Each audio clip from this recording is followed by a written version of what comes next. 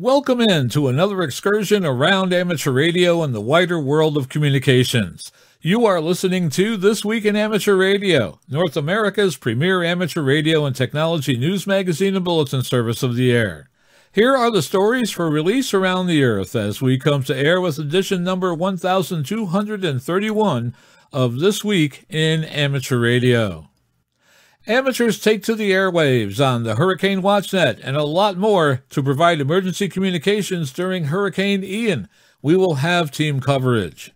The FCC grants an ARRL request for amateurs to use higher baud or symbol rates on the low bands for emergency communications efficiency during the hurricane. The Radio Amateurs of Canada reorganize existing call areas and create a new call area. We will have all the details. Doreen Bogdan Martin, KD2JTX, is elected as the next Secretary General of the International Telecommunications Union. The ARRL opens up a new application period for the Club Grant Program. We will tell you what you need to know. There are new beacons on the air on CW and FT8. We will tell you where they are coming from and where to listen for them. An engineering firm in New York publishes a paper on what caused the collapse of the Arecibo Observatory. The ACMA in Australia is looking for input on proposed changes to amateur regulations. And we will have the latest on upcoming contests, conventions, and a peek at solar propagation conditions, all coming up in today's edition of This Week in Amateur Radio. These headline stories will come to you in a moment along with this week's special features. We'll visit with Bruce Paige, KK5DO, and get an update from AMSAT on what's new with all of those amateur satellites in orbit. Our technology reporter, Leo Laporte, W6TWT, will talk about the newly implemented Snoopers Act, better known as the Investigatory Powers Act in the UK. Australia's own Onno Benschop, VK6FLAB, will talk about what he calls the Patriot and amateur radio. Our own amateur radio historian, Bill Continelli, W2XOI, returns to begin his series, The Ancient Amateur Archives. This week, Bill takes us back to the very beginnings of amateur radio. And our tower climbing and antenna master, Greg Stoddard, KF9MP, will talk about the various methods of sealing coax connections on your tower and general antenna mounting. That's all straight ahead as North America's premier amateur radio and technology news magazine and bulletin service, This Week in Amateur Radio, takes to the air right now.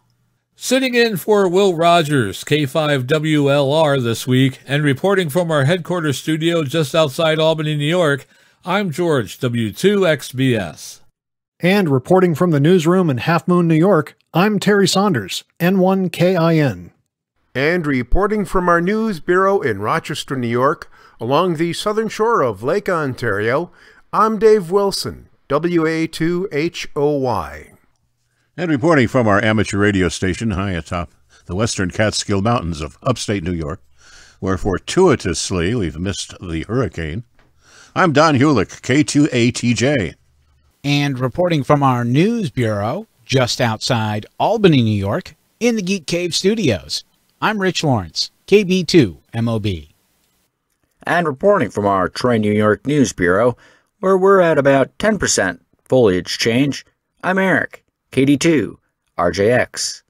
And now, with this week's lead story, here is Terry Saunders, N1KIN. Amateur radio's emergency communication support for Hurricane Ian leads off this week's news. As Hurricane Ian made its way across Florida and now heads towards South Carolina, amateur radio operators have continued to provide communication support for weather updates and requests for assistance. We begin our team coverage of this story with John Ross, KD8IDJ, who reports from League headquarters in Newington. The hurricane made landfall at 3 p.m. Eastern Time on Wednesday, September 28th, just south of Tampa, Florida, as a Category 4 hurricane with winds of 150 miles per hour. Millions of residents are still without power, and damage was reported as extensive along the storm's initial path. As of 5 p.m. Eastern Time on Thursday, the National Hurricane Center reported that Ian is taking aim at the Carolinas and Georgia with life threatening flooding, storm surge, and strong winds. ARRL Director of Emergency Management Josh Johnston, KE5MHV, has been in regular contact with ARRL section managers and section emergency coordinators in Florida and throughout the southeastern United States. Johnston said ARRL is also in touch with uh, national level partners, including FEMA and the Cybersecurity and Infrastructure Security Agency, should any request for direct emergency communications via amateur radio be needed. Johnston said many ARRL ARES volunteers and their groups are involved across Florida, Georgia, and South Carolina. Many ARES groups throughout Florida have been in a state of readiness since before the weekend, said Johnston. These amateur radio volunteers are well connected with their state and local emergency management partners in government and non government organizations. Johnston also said there is an ARES members at the request of uh, the Florida Division of Emergency Management serving in the State Emergency Operations Center. Many ARES groups are also operating in several shelter locations. W1AW, the Maxim Memorial Station at ARRL's headquarters in Connecticut, has activated its WinLink station to handle PACTOR 3 and 4 messages and traffic, as well as its shared station, NC310, NCS 310. Bobby Graves, KB5HAV net manager for the Hurricane Watch Net, said the net is now transitioning from receiving weather data to gathering post storm reports. And he added that the uh, Hurricane Weather Net may be assisting with emergency, priority, and any health and welfare traffic, and that net may continue operations for several days. The Hurricane Weather Net will issue an after action report to detail the number of amateur radio operators who participated on the net. If you'd like more information about the hurricanes and the nets, you can go to arrl.org. And uh, for listening or participating in the nets, it's the Hurricane Watch Net or the VOIP Hurricane Net. Visit their websites for more information on that. I'm John Ross, KD8 IDJ. ARRL has previously deployed ham aid kits in the region. The kits include amateur radio equipment for disaster response when communications equipment is unavailable. In ARRL's experience, amateur radio's response will continue to play out, sometimes even more significantly, after the storm passes and communities enter a period of recovery, said Johnston. As needs are assessed, such as disruptions to power and communications, our ARRL section leaders and ARES groups may receive additional requests for more activations and deployments. These reports include damage and areas that are flooded, said Graves. This gives the forecasters additional information they need, also, since FEMA has an office in the National Hurricane Center, they look over these reports to get a bigger picture of what's happened, which in turn helps them to get help and humanitarian assistance where it's needed. Assistant HWN Net Manager Stan Broadway, N8BHL, said they have been filing reports since September 26, 2022, and over 125 specific reports have been filed to the NHC from stations in the area. We have handled other reports not included in the database for damage and other storm related situations, said Broadway. One such call involved a relayed report of a woman trapped in her home with a collapsed wall in the Fort Myer area. That report was relayed to Lee County Emergency Communications to dispatch a rescue team. The Voice over IP Hurricane Net has been active as well. Director of Operations for the Voice over IP Hurricane Net and ARRL Eastern Massachusetts ARES Section Emergency Coordinator Rob Macedo, KD1CY, said the net will remain active potentially through 11 p.m. Eastern Daylight Time on Thursday evening, supporting WX4NHC, the amateur radio station at the National Hurricane Center in Miami, Florida. WX4NHC will be active through this period for as long as needed. At last check, at least 21 radio stations and 6 TV stations in Florida are off the air thanks to Hurricane Ian. 15 FM stations, 6 AMs, and 6 television stations notified the Federal Communications Commission that they were down, according to the FCC Communications Status Report that was issued at noon September 29th. Meanwhile, in Puerto Rico, three radio stations remained off because of the earlier storm Fiona. The cell phone network was hit hard by Ian too. Counties where at least 40% of cell sites were down include Charlotte, Collier, DeSoto, Hardee, Hendry, Highlands, Lee, and Sarasota. In total, roughly 11% of cell sites in the affected area were down, according to the report, which added that the percentage of sites down does not necessarily correlate to a percentage of people without service because of overlaps and emergency sites that may be operating. As Hurricane Fiona left Canada's maritime provinces as a tropical depression, another hurricane was beginning to form in the Caribbean, tracking toward western Cuba, the Cayman Islands, and the western shores of Florida. The handoff between the two storms gave little time to relax for amateur radio operators working with the Hurricane Watch Net, VOIP Net, Salvation Army Emergency Radio Network, and emergency communications groups such as ARES. The Hurricane WatchNet has been in operation since the morning of September 27, 2022, as Hurricane Ian swept across Cuba and headed toward Florida's Gulf Coast. The Hurricane WatchNet continues to operate on both 14.325 and 7.268 MHz as propagation permits. The 20 meter net resumed at 8 a.m. Eastern Time on Thursday, September 29th, and will continue until further discussion and conditions warrant closing down the net. At 5 a.m. EDT on Thursday, the National Hurricane Center reported that Ian is now a tropical storm located 40 miles southeast of Orlando, Florida, with maximum sustained winds of 65 miles per hour. Ian is moving toward the northeast near 8 miles per hour and is still expected to produce strong winds, heavy rains, and storm surge across portions of Florida, Georgia, and the Carolinas. On the forecast track, the center of Ian is expected to move off the east central coast of Florida on Thursday evening and then approach the coast of South Carolina on Friday. The center will move farther inland across the Carolinas Friday night and Saturday, included the report. As the storm moves toward the Atlantic and then back into the coastal states, the focus of the Hurricane Watch Net will change to receiving damage reports for the National Hurricane Center, handling messages for emergency operation centers and other agencies. The HWN will also assist Salvation Army SATERN Net partners to move health and welfare communications traffic out of the affected areas. We appreciate the cooperation of amateur operators and nets in allowing us clear frequencies to make these important contacts as Florida and the southern states work to recover, said Hurricane Watch Net Assistant Net Manager Stan Broadway, N8BHL. The HWN disseminates the latest advisories issued by the National Hurricane Center in Miami, Florida. The net also obtains real-time ground-level weather conditions and initial damage assessments from amateur radio operators in the affected area and relays that information to the National Hurricane Center by way of WX4NHC and, when required, the Canadian Hurricane Center. Ham radio operators can follow advisories on Hurricane Ian off the main menu of the VOIP Hurricane Net website at voipwx.net or at the National Hurricane Center website at www.nhc.noaa.gov.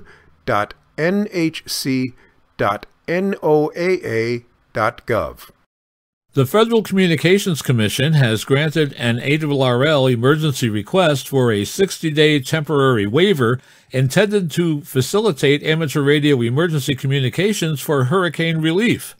For more details on the waiver, we go to Steve Richards, G4HPE, who files this report through the facilities of the Southgate Vibes News Service. The waiver was adopted on Tuesday, September the 27th, 2022, and immediately permitted amateur radio operators supporting amateur data transmission for Hurricane Ian traffic to employ a higher symbol rate for data transmissions than the current limit of 300 baud. In its order, the FCC concluded that granting the request waiver was in the public interest. Puerto Rico was recently hit by Hurricane Fiona, and Hurricane Ian is predicted to cause significant damage, including disruption to electricity and communications services. Thus, to accommodate amateur radio operators assisting in the recovery efforts, the FCC granted the ARRL's waiver request for the period of 60 days to be effective in any parts of the United States and its territories impacted by the hurricanes.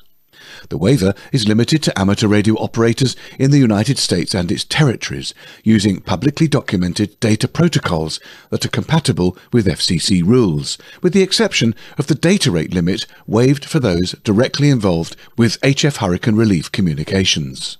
The ARRL's request stated that trained amateur radio operators are working with emergency management officials and aid organizations to assist with disaster relief communications in anticipation of the arrival of Hurricane Ian.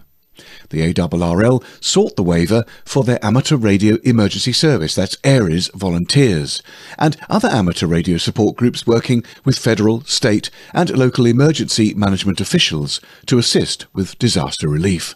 Similar written waivers have been granted by the FCC in earlier years. To qualify, a protocol or mode exceeding the 300 baud symbol rate limit must be publicly documented, use no more bandwidth than the currently permissible slower protocols, which is generally accepted to be the bandwidth of an SSB signal or 2.8 kHz, and be used solely for communications relating to hurricane relief. The FCC's standing rules prevent the use of certain protocols capable of higher data rate emissions in the HF or shortwave bands that many amateur stations active in emergency communications preparedness are capable of using.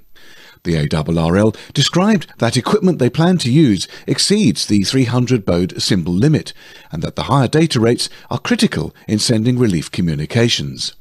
Many use radio modems and personal computers capable of using digital protocols and modes that will permit faster messaging rates than normally permitted under the FCC's rules.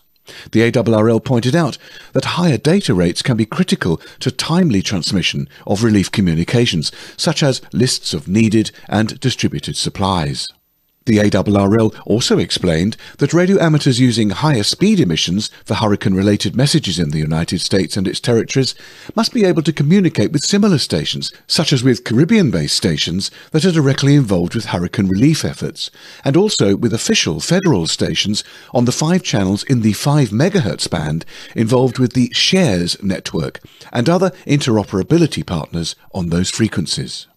The ARRL also pointed out that the past FCC temporary waivers have allowed such protocols in similar events, including Hurricanes Maria, Dorian, Laura, and Ida, typhoon relief communications in Hawaii, and wildfires in the western areas of the U.S.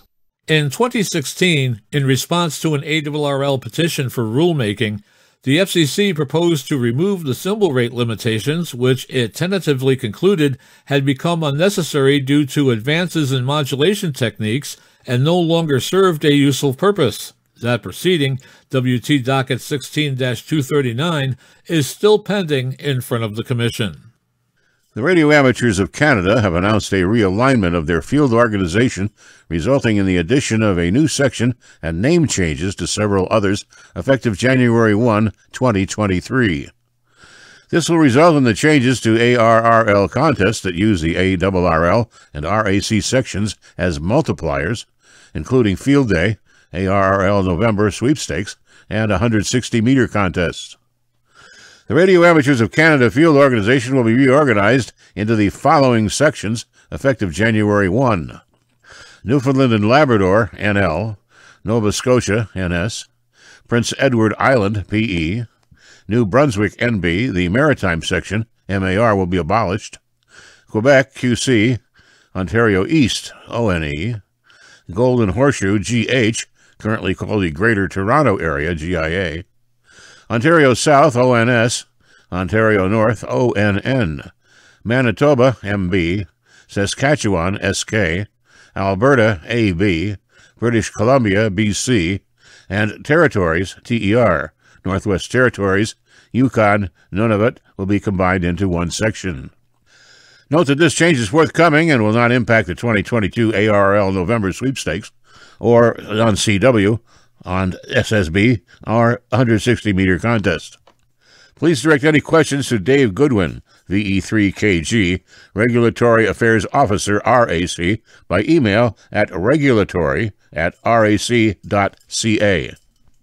The International Telecommunications Union, the United Nations Specialized Agency for Information and Communication Technologies, has announced the election of Doreen Bogdan Martin of the United States of America as the next International Telecommunications Union Secretary General. Bogdan Martin will assume office on January 1st, 2023. She's radio amateur call sign KD2JTX. The election took place during ITU's Plenipotentiary Conference in Bucharest, Romania on Thursday, September 29, 2022. Bogdan Martin won the position with 139 votes out of 172 votes cast by representatives of member states. The ITU press release stated, This is an exciting development for ITU, said International Amateur Radio Union President Tim Ellam, VE6SH. She will be the first female Secretary General and only the third to hold an amateur license. Doreen has an exciting agenda for ITU. The U.S. Department of State has published a statement from Bogdan Martin, as well as her biography and vision. She will make an outstanding ITU Secretary General, and one IARU will be proud to work with on behalf of amateur radio services, said Ellam. The chair of the International Amateur Radio Union, or IARU, Region 1 Spectrum and Regulatory Liaison Committee, Barry Lewis, G4SJH, reports that the ITU R Study Group 4 has finalized the study report regarding the amateur radio 1240 to 1300 MHz band. On the IARU Region 1 site, he writes During the period of September 7th through the 13th, 2022, the IARU once again participated in the preparatory work for World Radio Conference 2023, Agenda Item 9.1b in the International Telecommunications Union Working Party 4C. Updated studies were provided by France, and new studies were contributed by the Russian Federation GLONASS, China Compass, and Japan. The IARU provided a contribution providing information agreed in WP5A, highlighting the low duration of busy times for amateur activities in the 23 cm band. This information was adopted into the draft report. Whilst the studies confirmed the potential for interference to occur into co frequency radio navigation satellite service receivers in almost the entire band, all the studies have assumed only static scenarios without any consideration of the geographic distribution and density of amateur transmitters or the temporal aspects of amateur or RNSS operations. Some studies take account of antenna patterns, but many results and conclusions focus only on worst-case main beam consideration. As a result of these studies and the regulatory status of the amateur service allocation, our ability to operate in certain parts of the band, and at the power levels allowed today, it is likely to be constrained if regulators want to protect the radio navigation satellite service receivers. This discussion will continue in the development of the guidance recommendation. Study Group 4 met on September 23rd and adopted the report for publication. IARU is totally engaged in the discussion that will continue in Working Party 5A to ensure that the amateur services can continue to develop in this band and allow all the amateur applications in use today to continue. In the next couple of days, ARRL members in the Southeastern Division will receive an email message indicating that the online voting site for the 2022 ARRL Southeastern Division election is now open. The message will include instructions to access candidate statements, the ballot, and to vote. A third party was selected by the ARRL Ethics and Elections Committee to conduct the election. Election Services Corporation of Melville, New York. Some background about the effort to include an option to use electronic ballots can be found in the October 2022 issue of QST Magazine, page 63, in the article Modernizing the ARRL Division Director and Vice Director Elections. Members should watch their email for the message from Election Services Corporation. ARRL Southeastern Division members should be sure to check their inbox and folders for spam and junk to make sure they do not miss this message. Members will also be receiving a paper ballot in a few weeks, which they can use if they prefer to vote through the mail. Please note that only one vote per member will be counted. The South African Amateur Radio League reports the Ministry of Communications and Digital Technologies has published a draft RF spectrum policy document, and comments are requested from amateurs. The SARL News is reporting that the Minister of Communication recently published the draft Next Generation Frequency Policy and has openly invited comments. Amateur radio is mentioned in the passing. It was published in the Government Gazette on September 6th, with a final date for comment within 30 working days.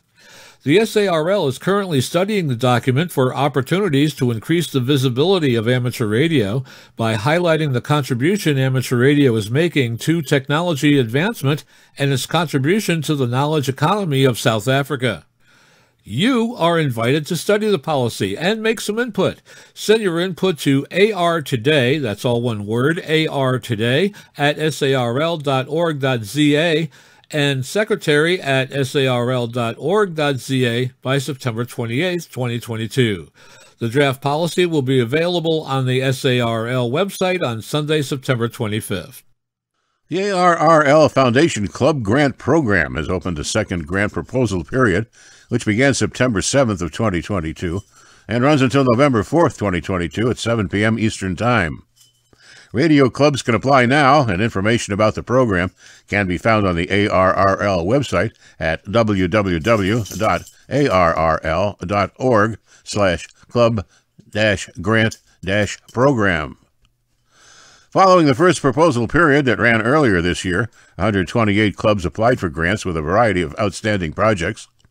Emphasis is placed on projects that have a component of community involvement, training, new ham development, and club revitalization. 24 clubs were chosen and nearly $270,000 was awarded. Clubs that applied in the first round and didn't receive a grant are urged to reapply. The ARRL Foundation will award an additional $230,000 in grants at the end of the second application round. An informational webinar was held on September 7th, and a recording of that event can be seen on ARRL's YouTube channel. On September 25th, 2022, the Mid Cornwall Beacon and Repeater Group brought into service three new CW and FT8 beacons at 28.205 MHz, 40.050 MHz, and 60.300 MHz, each using the call sign GB3MCB. Located at Grid Square IO70OJ on a 100 foot tower at 1,000 feet above sea level, these beacons, constructed by Peter Taylor, G8BCG, are ideally situated for transatlantic ES and F2 and transequatorial propagation. The new beacons are co-located with existing beacons on 50 MHz as part of the Synchronized Beacon project, in addition to those on 70 MHz, 144 MHz, 432 MHz, 1296 MHz, and 10 GHz. GB3 MCB is de facto the United Kingdom's premier beacon cluster. The new low VHF cluster at 28, 40, 50, 60, and 70 MHz will enable invaluable propagation monitoring and analysis as the maximum usable frequency rises. Reception reports are always welcome, and the club encourages operators to spot the beacons whenever and wherever they are heard. For further information and contact details, visit the Mid Cornwall Beacon and Repeater Group's website. Engineers have identified a number of key factors that led to the 2020 collapse of the Arecibo telescope, once the world's largest radio telescope. A forensic examination by the New York based firm Thornton Tomasetti identified issues that included design of the cable system with relatively low safety factors for gravity loads as well as the force of naturally occurring events in the environment. Those included Hurricane Maria in 2017 and the January 2020 earthquake tremors in Puerto Rico, where the telescope was located. The report said that despite having a hurricane resistant design, Arecibo's cable system had already led it to suffer stress under its own weight whenever storms hit. The engineers recommended higher safety factors for cable systems under such conditions. Although the investigators said they found the telescope to be generally well maintained, they did note in their report that they found that moisture had intruded, paint had degraded, and individual wires had broken within the support cable system. And now with the latest technology news and commentary from Petaluma, California. This week in amateur radio is proud to present Leo Laporte. Ah, I'm a little nervous about what's going on in the United Kingdom. I don't know. It's a different country. I know if you're living in the U.S., you're going, well, what do you care? Well, the UK passed something five years ago now called the Snoopers Charter. Well, I don't think that the I don't think Parliament called it the Snoopers Charter, but everybody else calls it the Snoopers Charter. The uh, Parliament called it the Investigatory Powers Act. And one of the powers they gave the police in England and the United Kingdom uh, is the power to essentially surveil everybody's web access all the time. So now they're testing it. Took them a while, but they're testing it two unnamed internet service providers, probably one of the big ones. A couple of them, uh, when queried about this by wired.co.uk, said no comment. That means they're probably the ones, right?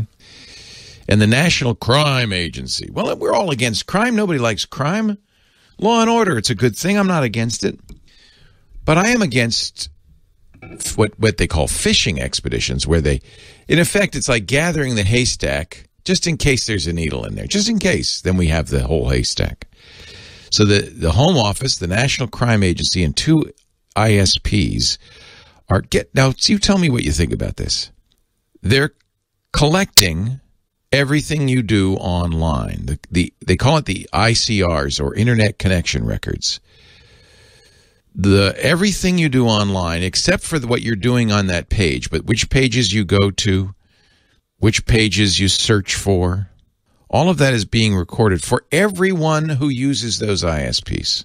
Just in case at some point a crime occurs, is committed, and the National Crime Agency needs to, you know, find out what's going on. Now they have everything, right? Because it's too late. Once the crime has occurred, you can't go back in time and say, well, what, what was what was that person doing?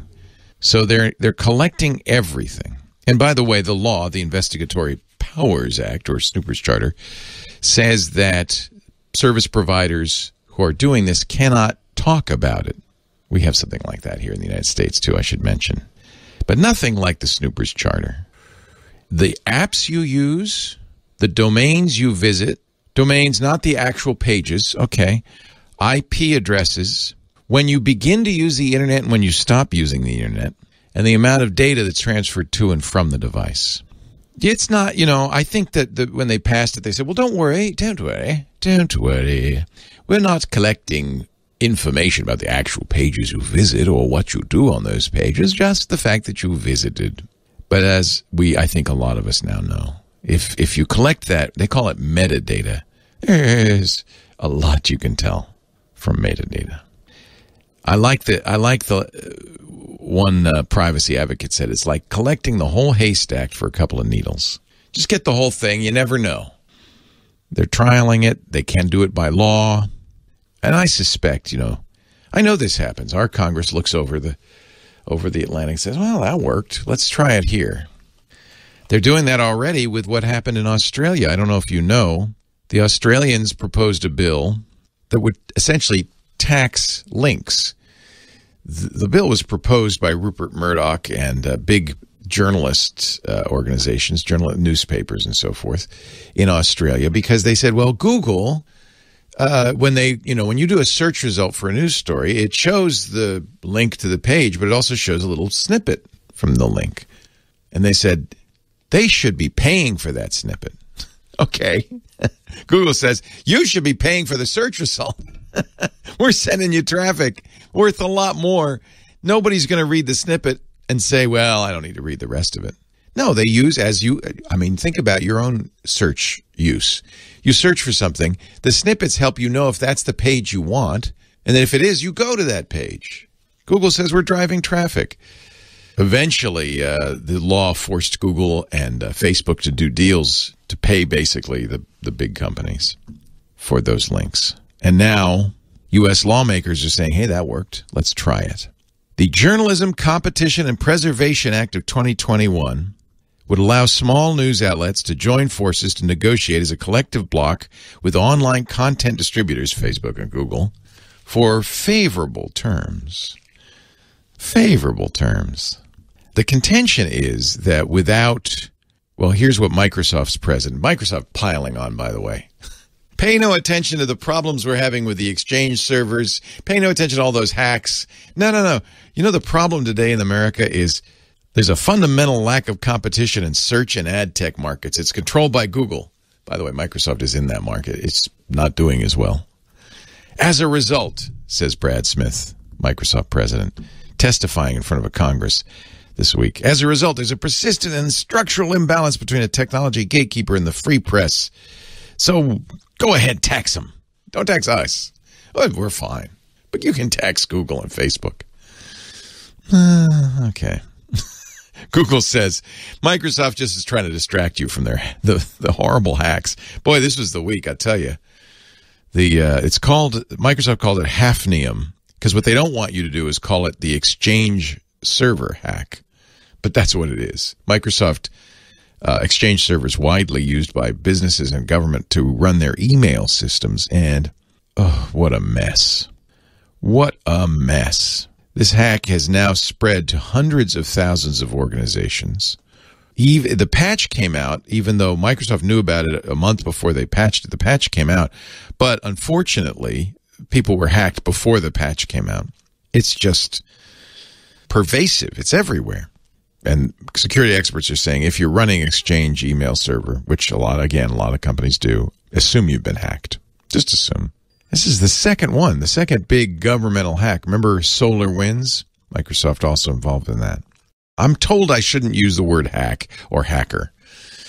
Hackers, some of whom are good people, most of whom are good people. Hackers, originally, hackers meant the people who, you know, take computer hardware and software and make it do new things, you know, bang on it, hack on it. The idea came from, you know, you're you're kind of hacking around. Like a golfer hacks around, you know. Maybe not not really with precision, but but you're getting things done. Then it kind of came to mean a bad guy. And the folks, there's a whole hacking is not a crime movement. They're asking journalists, if you go to hackingisnotacrime.org, you could see in big letters, hacking is not a crime. They're asking journalists to stop using the term hacker and hacking for evil, vile, menacing exploits. They don't offer a alternative, unfortunately. They say it's law breaking. They're criminals. That's not what hackers are.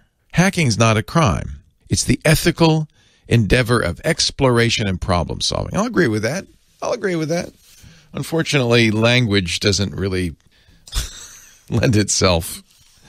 For a long time, I, you know, I'm a podcaster. I do podcasts. And for a long time, I said, don't call them a podcast. That's an Apple device. Has nothing to do with an iPod. Don't call them, it's netcasting. You're, you, instead of broadcasting, which is what this show is, broadcast, it's a netcast. It's over the internet. Nobody, no, I couldn't convince anybody. I gave in. I said, eh, it's a podcast. Okay, fine.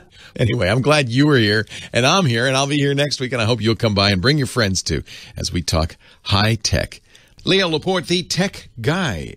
Are you ready for another excursion into amateur radio history? This is Bill Continelli, W2XOY, and I'll be back in a moment with another installment of the Ancient Amateur Archives. Okay, I knew it would happen. When I started this series, I expected three questions would be asked. When did ham radio start? Who was the first ham? And where did the word ham come from? To answer these questions, let's head back to the 19th century. Practical wireless had its start in 1896 when Marconi first sent a signal over a distance of two miles. By 1899, he succeeded in sending a wireless message across the English Channel, a distance of 32 miles. The year 1899 also marks the first construction project which appeared in American Electrician magazine. In December 1901, Marconi claimed to bridge the Atlantic, a feat which caught the world's attention and fueled the imagination of thousands of potential amateurs who took their first steps into wireless. In the early days, everything was spark. What exactly was spark? Well, sit down some summer night listen to your AM or shortwave radio, and count the static crashes. Now, turn on the vacuum cleaner or an electric shaver and listen to your radio again. Hear that noise? In short, Spark Wireless was merely a form of controlled static. A high voltage inside a spark coil would jump across a gap, which was coupled to an antenna. The spark was keyed on and off to transmit the code. The signal generated was extremely broad.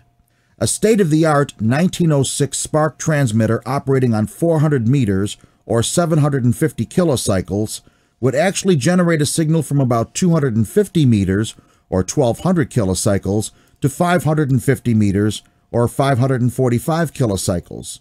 Receivers were no better. Before 1912, all systems were basically unamplified detectors. Tuners were primitive or non existent. As might be expected by today's standards, the early wireless stations were terribly inefficient. Transmitting ranges ranged from as little as 600 feet with a 1 2 inch coil to perhaps 100 miles from a kilowatt station and a 15 inch spark coil. Ships at sea with 5 kilowatt transmitters might get as much as 500 miles maximum range over the ocean. It was into this world that the early amateurs ventured, Actually, if we were to concentrate on the years prior to 1908, It would be more appropriate to say experimenters rather than amateurs, for in the first decade of wireless, there was little or no interest in personal communications with other stations. Rather, the concentration was on technical development, either in the interest of pure science or, more often than not, with an eye towards cashing in on this new medium. Experimenters were unorganized and, with the exception of those immediate stations with whom they ran tests, had no knowledge or interest in other pioneer stations. Any true amateurs prior to 1908 had been lost in prehistoric obscurity. By 1908, however, the face of wireless began to change. Technical developments had reached their first plateau, and a number of major competitors had formed the first wireless trust, called United Wireless. With a temporary truce in effect, equipment was now more readily available to the public. Along with this, new magazines such as Modern Electrics were formed with wireless communication as the primary thrust.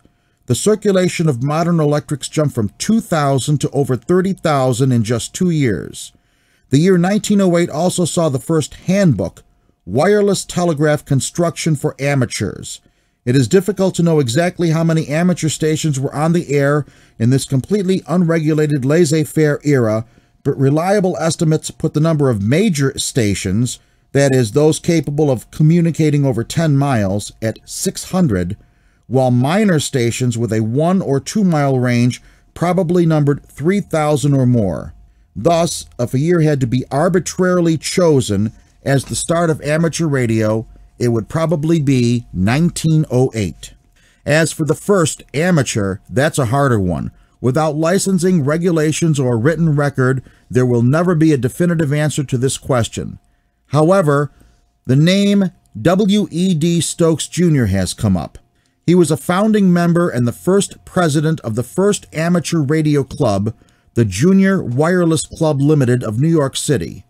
This organization was formed on January 2, 1909. Other founding members who might lay claim to the title First Amateur were George Eltz, Frank King, and Fred Seymour.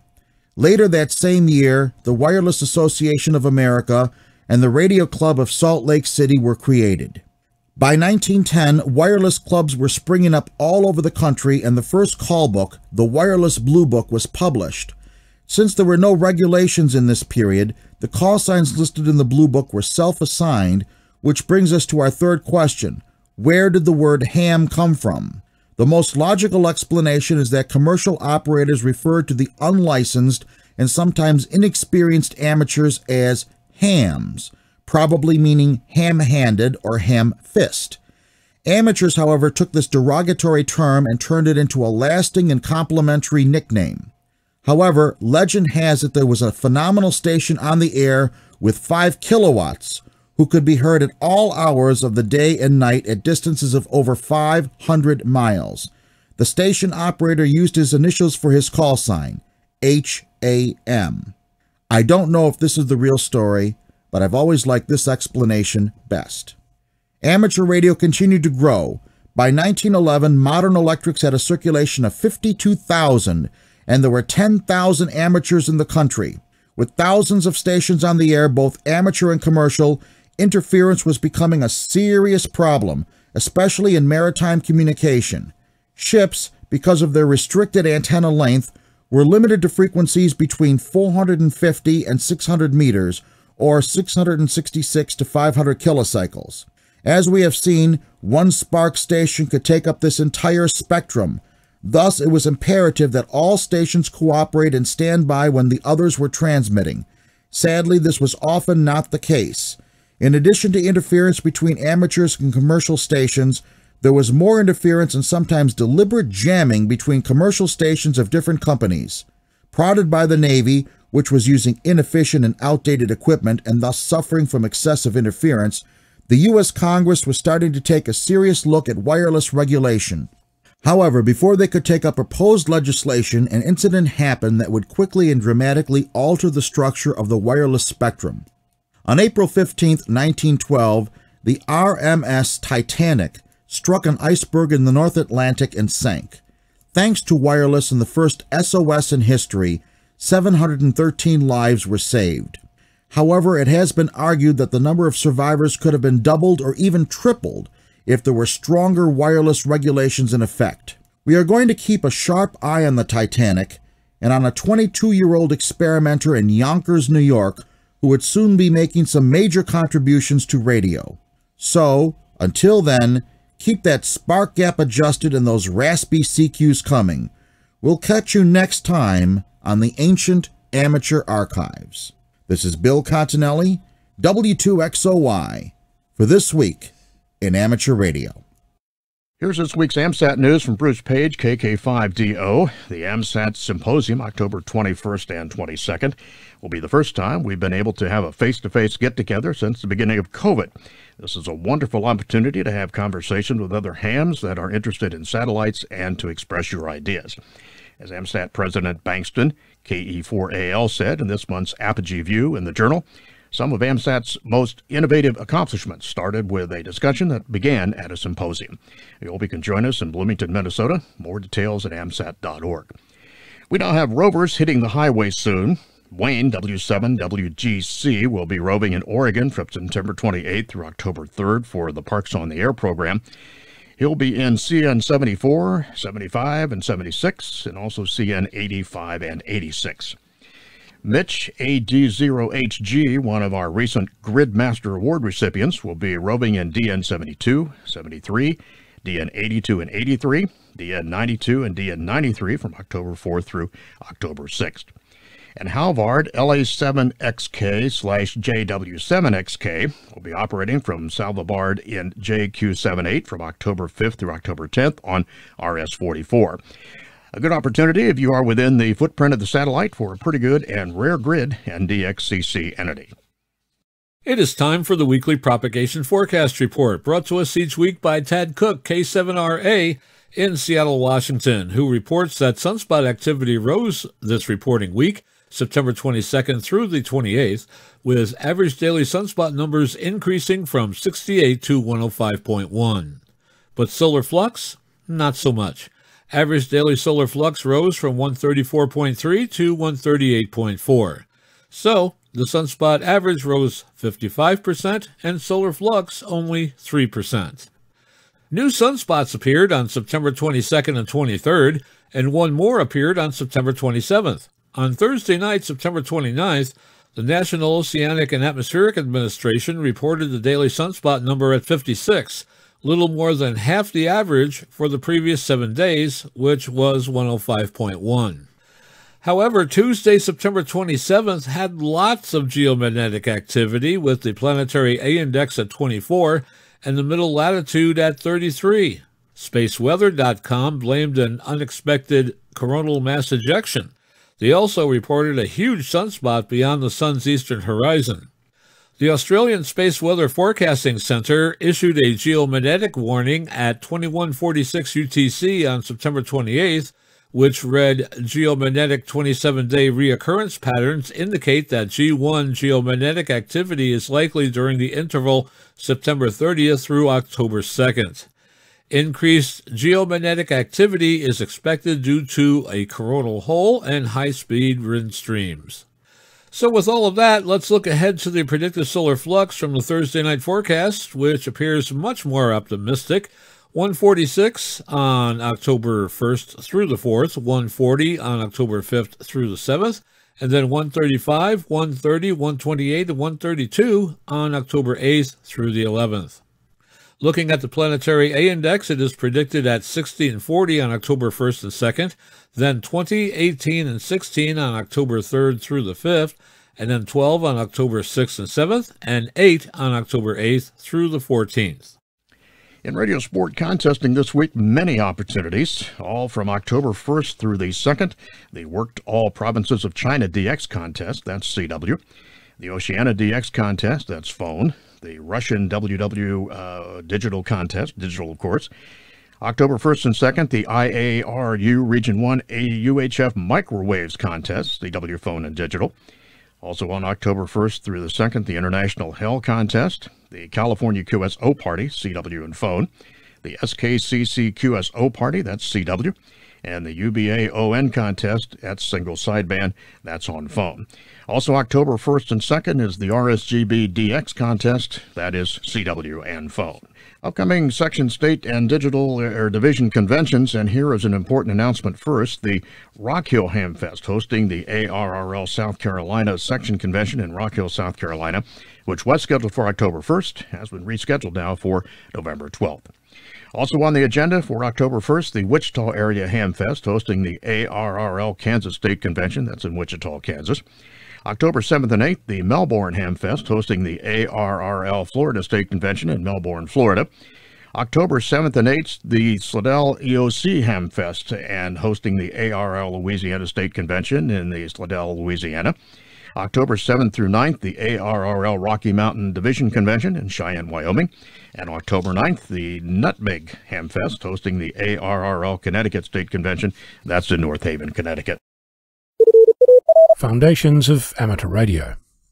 It's been a while since I looked up the word patriotic. Depending on which dictionary definition you use, it could be showing love for your country and being proud of it, or it could mean having or expressing devotion to and vigorous support of one's country. Synonyms for the word patriotic include nationalist or nationalistic, and it relates to words such as chauvinist, jingoist, and fervent. Jingoist means having or showing excessive favoritism towards one's own country.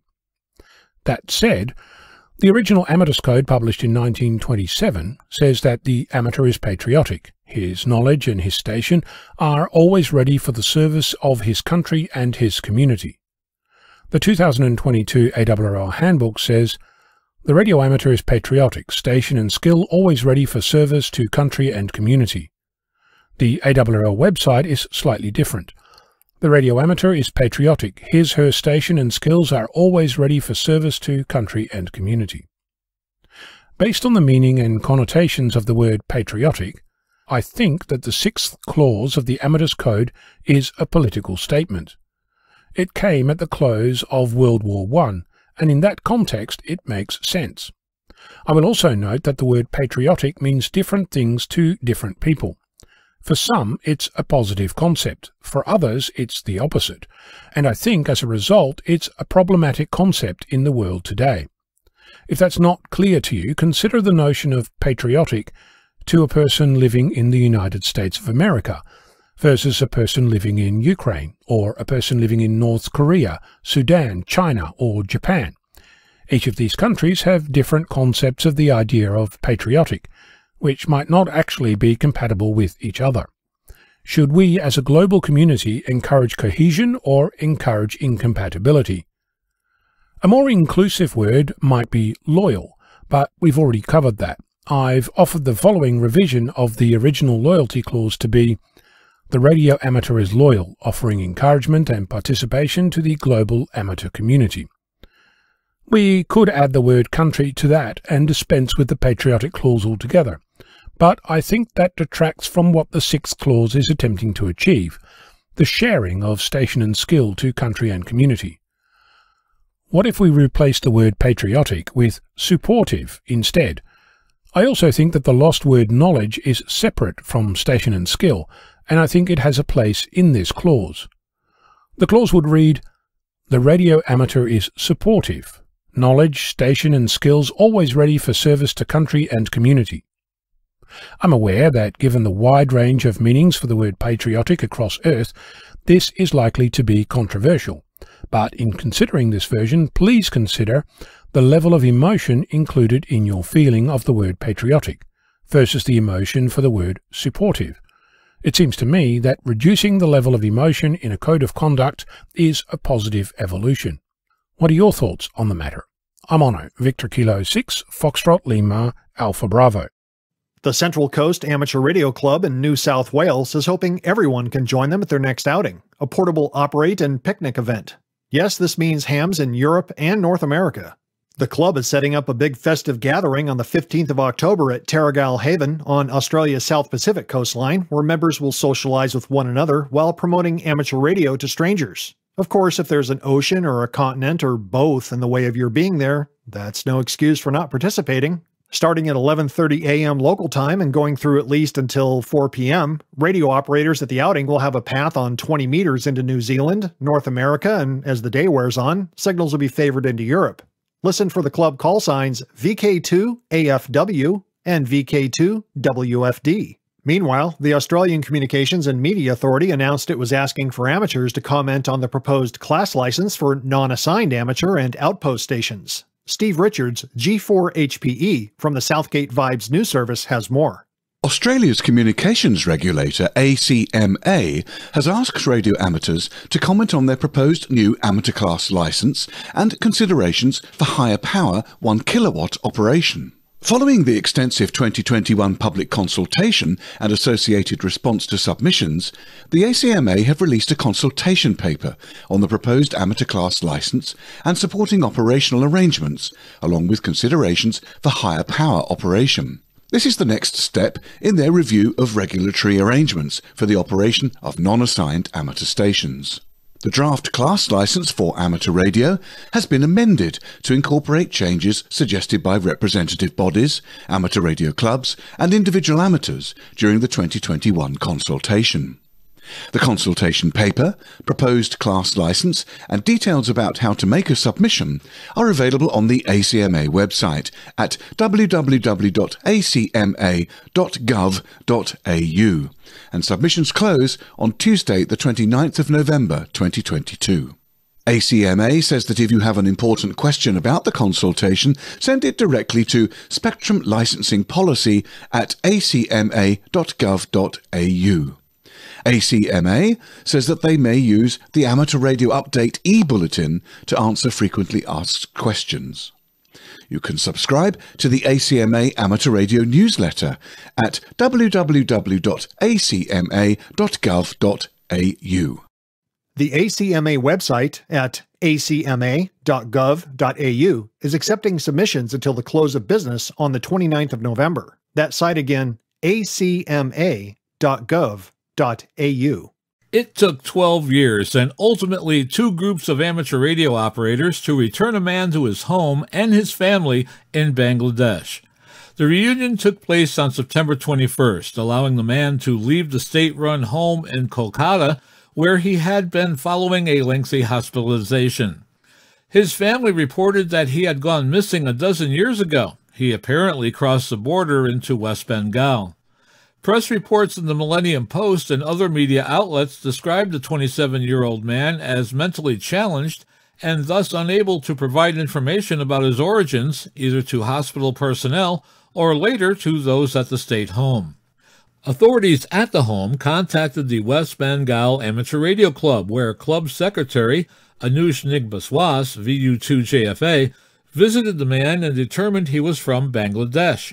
He reached out for help to Anup Baumik, S21 TV, secretary of the Amateur Radio Society of Bangladesh. The two clubs arranged for a video call between the man and his family, and after that, details were worked out for his return home. The Antique Wireless Association says that in the late 1950s, television networks in the USA ruled the airwaves from 7 to 11 p.m. But outside of that time slot, television was live, local, and unpredictable. Jim Hanlon, Whiskey 8 Kilo Golf India, worked as a summer relief engineer at Cincinnati's WCPO TV from 1956 to 1958. At that time, WCPO TV did not have any video recording technology, so all local TV was live TV and provided a refreshing dose of live programming, equipment failures, and production creativity that's been lost in today's pasteurized, homogenized TV ecosystem. In an amusing romp around 1950s budget TV, Jim presents a podcast as he recalls what it's like producing live TV programming in the early days of television broadcasting. Jim commentates around a series of slides from the time which really shows just how wing and a prayer the production was. Just search on YouTube for mid-century television live, local and unpredictable. And you can help keep communications history alive by becoming a member of the Antique Wireless Association. To find out more, go to www.antiquewireless.org. An updated tool has become available to help hams in the UK comply with Ofcom license requirements to monitor their station's electromagnetic field exposure or EMF. The Radio Society of Great Britain has made changes to both its online calculator and web app and are seeking feedback on the new versions, which have been launched on a trial basis. The new calculators enable hams to determine EIRP as well as compliance distances. According to the RSGB website, the updated calculators no longer have the previous version's 10 MHz minimum frequency restriction or the minimum separation of the near field boundary.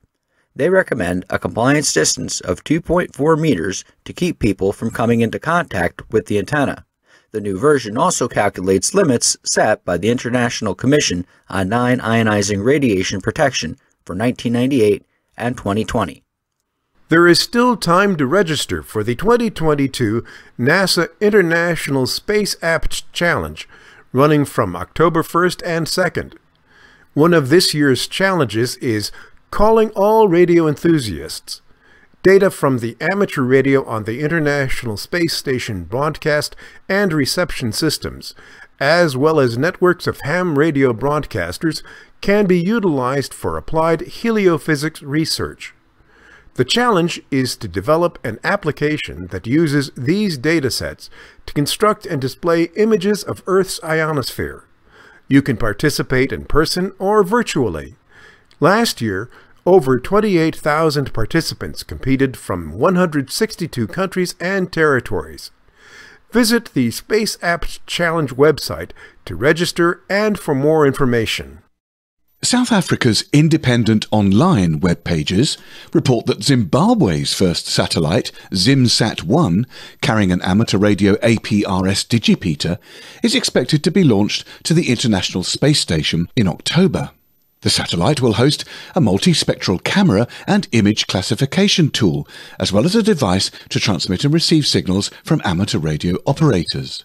APRS is the Amateur Packets Reporting System, and the signals can include object GPS coordinates, weather station telemetry, text messages, announcements, queries, and other telemetry. Named ZimSat-1, the Sunday Mail in Zimbabwe reported that the nano satellite will reach the International Space Station next month before it's launched into orbit, scheduled for November. ZimSat-1 will be on board the Cygnus NG-18, an uncrewed spacecraft that provides commercial cargo resupply to the International Space Station on behalf of NASA, from where it will be released into space. Zimbabwe's ambitious satellite is reportedly scheduled to reach the International Space Station by the 28th of October, before being launched from the Kibo, Japan's science module on the International Space Station. You can read more at www.iol.co.za, and the Zimbabwe Sunday Mail can be found at www.sundaymail.co.zw. And students at the National Technical University of Ukraine, the Igor Sikorsky Kiev Polytechnic Institute, have built an amateur radio CubeSat, which they expect to launch soon. The 2U CubeSat, QBUA-01, is a project driven by Kiev National University. The mission is to launch a Ukrainian educational satellite built by KPI students and space exploration enthusiasts for solving a number of educational, scientific, and technological university problems. Specific mission targets are the construction and launch of a nano satellite to test advanced space technologies, study the available capabilities, and find new tasks for the development of near space. And also to study the operation of solar sensors, a GPS GLONASS receiver, magnetometers, gyroscopes, electromagnets, and flywheels in systems which provide orientation and stabilization in space. They also want to look at thermal regulation of a local heat source based on microheat pipes in low orbit, as well as testing the operation of new software to control satellite systems and obtain telemetry at the ground station. Amateur operators around the world will be able to participate in the mission by receiving satellite telemetry, beacon, and science payload data about the microheat pipe. You can find out more at cubesat.com.ua. The students are proposing a 9K6 data download on UHF using the AX25 packets protocol. The launch is planned for November 2022 on the Transporter 6 SpaceX mission into a 530 kilometer Sun synchronous orbit. You can read a lot more by visiting www.amsatuk.me.uk. The Andrew Johnson Amateur Radio Club in Tennessee has donated a collection of new and used ham radio related books to the Greeneville, Greene County Public Library. The press release from the club that appeared in the Greeneville Sun newspaper said the gift was part of the group's mission to provide community service and advocate for radio knowledge and education. The group thanked the Walmart Distribution Center in Greene County for a $500 donation that helped the club compile the book collection. The books were presented to the library by President Ian Bible, KE4EAC, and Secretary Treasurer Larry Whiteside, KN4MVH. The books include Ham Radio for the New Ham by Stan W. Merrill, two copies of Ham Radio for Dummies by H. Ward Silver, and The World of Ham Radio, 1901 to 1950, A Social History. For tinkerers, there is Antique Radio Restoration Guide by David Johnson and Antique Radio Repair and Restoration by Alfred Corbin, which discusses vacuum tube radios. A number of ARRL publications are also in the collection, including a digital handbook and a license manual. The annual AM QSO party, sponsored by the Antique Wireless Association, isn't so much a contest as a challenge. It invites hams to get on the air using radio's original form of voice communication, amplitude modulation. Ron Skipper, W8ACR, coordinator of the AM QSO party for the Antique Wireless Association, considers this year's event a success. The weekend operation introduced hams to amplitude modulation or reminded long timers that AM is still a viable option. During the two day activity on September 24th and 25th, Ron himself made 40 or so contacts during the QSO party. He said that three of those operators he logged said they were experiencing either their first or second time using AM mode. Ron went on to say, I think that once a ham operator uses AM successfully, he realizes that it is a viable alternative to single sideband and not just an outdated mode of communication. Rag chews were encouraged, and for others, so is simply listening. Ron reminds hams that there's plenty of time now to prepare for the next AM QSO party if your rig already has AM mode, try it out. If you have vintage gear at home, dust it off. Or, if you're a home brewer, get busy and build that AM transmitter. ARRL member Brian Daly, WB7OML, who received the AT&T Fellows Honor in 2021, is being recognized by AT&T as a trailblazer in the telecommunications standards industry. The AT&T Fellows Honor is given to individuals in the AT&T technical community who have made sustained and notable contributions through scientific and technical achievements that have impacted AT&T's business. Daly is the Assistant Vice President of Standards and Industry Alliances for AT&T and helped develop their wireless services, including wireless emergency alerts and AT&T's nationwide public safety network FirstNet. In the aftermath of 9 11, Daly was approached by the FCC after Congress passed the Warning, Alert, and Response Network, or the WARN Act, to help develop a public warning system using cellular technology. Daly's team identified the technical and operational requirements for the technology and paved the way for WEA, which launched in 2012. WEA was sent during the Boston Marathon bombing tragedy, Superstorm Sandy throughout the COVID 19 pandemic, and in countless other emergencies, said Daly. Knowing that I had something to do with the more than 70,000 WEA that have been employed to inform and protect people in times of crisis, and the fact that 123 children have been found thanks to WEA delivered Amber Alerts is one of the greatest rewards of doing what I do at AT&T, Daly said. Daly continues to provide expertise to the Federal Emergency Management Agency, the National Weather Service, the U.S. Geological Survey, and state, local, and tribal agencies. He's also a volunteer for the FirstNet Response Operations Group and trained to deploy a dedicated FirstNet satellite cell on a light truck to restore cell systems damaged by emergencies. Daly holds an amateur extra license and is a technical specialist for the ARRL Georgia section. And now, with his segment on tower climbing and antenna safety, here is Arizona's own Greg Stoddard, KF9MP. Here's a subject most hams have had to deal with on towers, on the roof, or on the ground waterproofing coax connections. Let's look at the four most popular products I know of.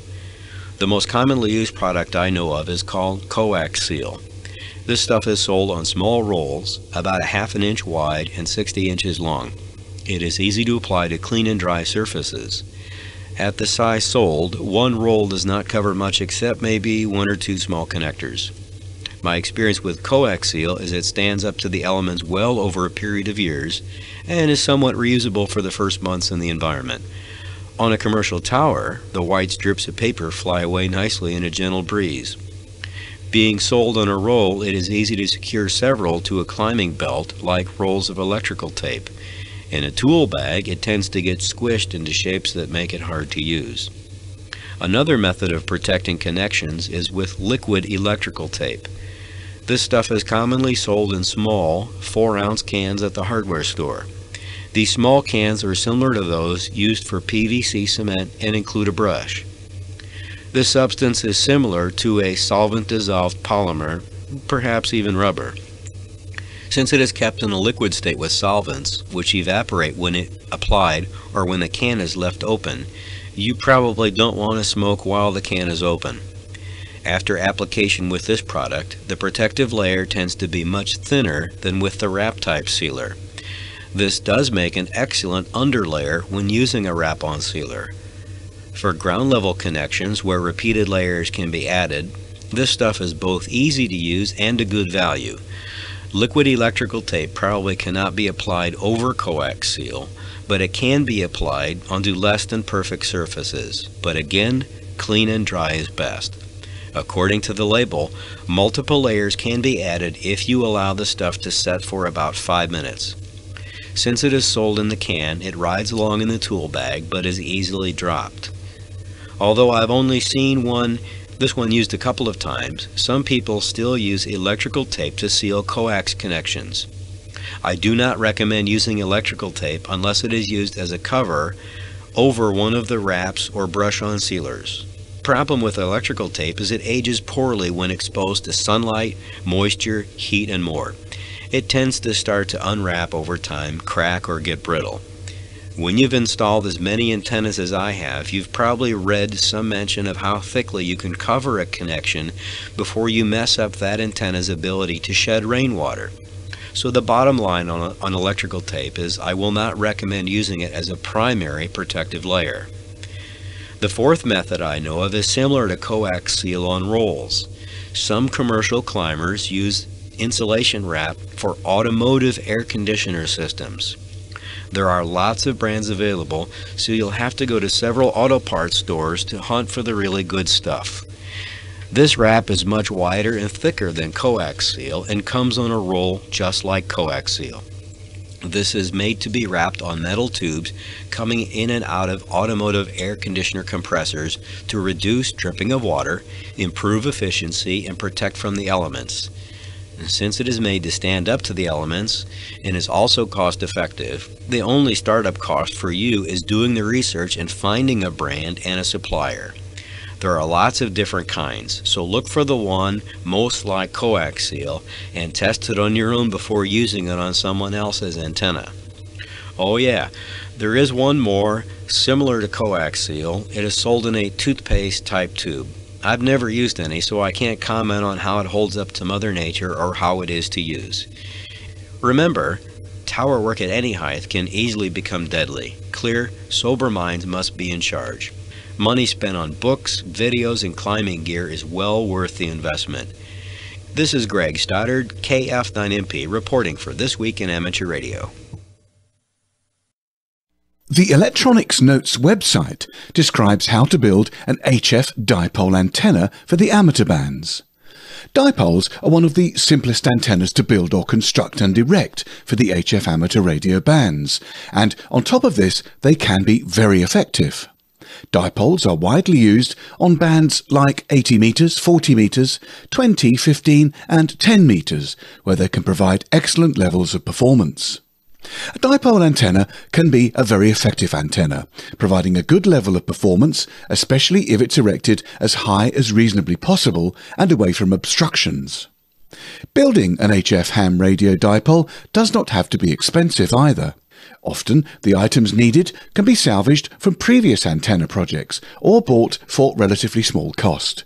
Wire, feeder, insulators, and fixings are all that is required. Building the antenna and erecting it can provide a great insight into aerials and how they work, and in this way the performance of the station can be enhanced even further. The most straightforward way to install a dipole is as a horizontal antenna, although this is by no means the only way. Also, a dipole is most commonly found as a half wavelength dipole, although this is not the only length that can be used. Feeding the dipole at a high current point, as is the case of centre feeding a half wave dipole, means that it's fed at a current maximum point on the antenna. This gives a low impedance feed, and this matches nicely to 50 ohm coaxial cable. It's also possible to have longer lengths.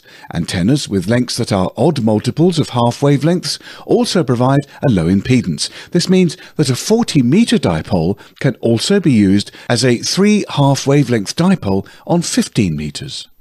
The basic half-wave dipole itself is quite straightforward, consisting of a radiating element half a wavelength long, erected between two supports and fed in the centre. Often, these supports may be a suitable point on a house and another support in the garden. On the house, it can be possible to attach the dipole to the chimney or other high point. Then another support may be a pole or even a tree. There even may be another suitable building. If using a tree as a support, it must be remembered that the tree will move in the wind. If the antenna wire becomes too tight as the wind moves the tree backwards and forwards, it could break the wire. This must be taken into account, and there are several methods of overcoming this problem. When buying anything for the antenna, it's wise to remember that the rigours of the weather will quickly take their toll on any components, so using top quality and weatherproofing where possible is always good. Driving rain, wind, sunlight, UV, etc. all mean that components will have to be of sufficient quality to last. Obviously, one of the key requirements for the antenna is the wire itself. Whilst normal insulated copper wire can be used, copper stretches very easily, and it will be found that over time the antenna lengthens as a result of the strain on it. Often hard-drawn copper wire is used, and this stretches far less. If a tree is used as the remote anchor point, some means of strain relief is required to account for any movement on the tree. This can be accomplished by using a pulley and then attaching a weight to the bottom. The weight applies the strain to the antenna to keep it in place, but the weight is able to move up and down to accommodate the movement of the tree. There are some simple rules of thumb to follow. It's best to install the HF hamband antenna so that it's as high as possible. It's surprising the improvement that raising an antenna gives. As it starts to clear the surrounding objects, it will receive and radiate far better. As far as possible, the HF ham band dipole antenna should be kept away from other objects. In a domestic environment this is not always possible, but a little planning and forethought can make the best of any installation. If coaxial cable is used, it's essential that the top end is sealed. If not, moisture can enter the cable and the loss will increase considerably. Coaxial cable is not cheap, and even a small amount of water ingress can degrade its performance.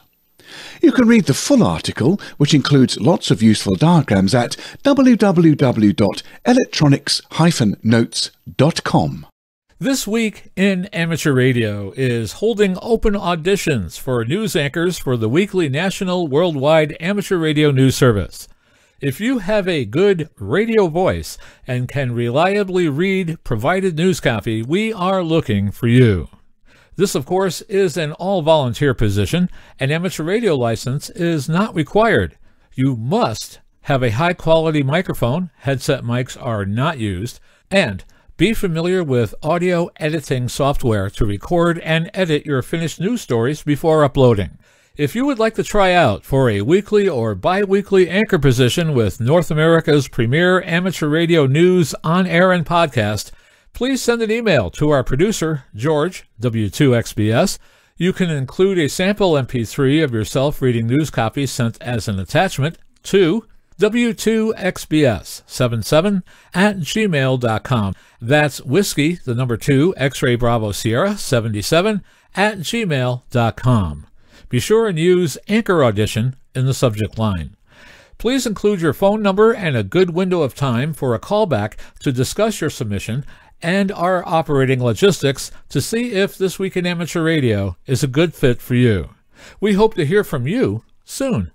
This Week in Amateur Radio is heard on nets and repeaters all across North America and around the world on great repeater systems like our flagship repeater system, K2RHI, on 146.94 MHz, serving Albany and the Tri Cities of New York State from the top of Mount Raffinesque in Brunswick, New York.